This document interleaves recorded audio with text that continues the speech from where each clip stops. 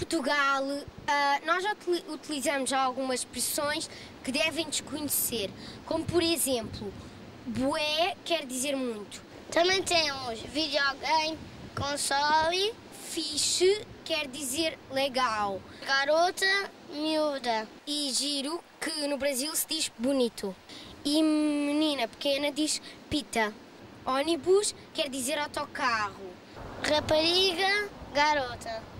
Train quer dizer comboio. Lima quer dizer limão. E limão quer dizer lima. Garoto quer dizer miúdo. E puto quer dizer miúdo pequeno. Tchau.